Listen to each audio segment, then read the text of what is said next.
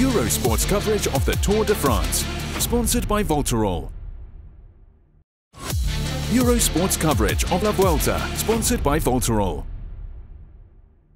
Eurosport's coverage of the Giro d'Italia, sponsored by Voltarol. This program is sponsored by Voltarol.